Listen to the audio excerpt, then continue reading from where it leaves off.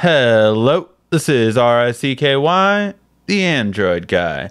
So, this next feature is one that I love LG for doing and I hate other manufacturers for not doing.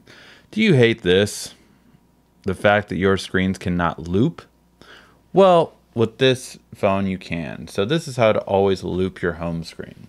Just simply going into settings, you go under display, and then home screen. Under home screen, you click allow home screen looping.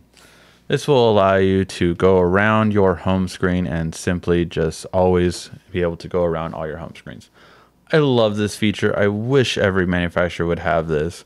And it's a great feature to have on LG phones that everyone should take note about.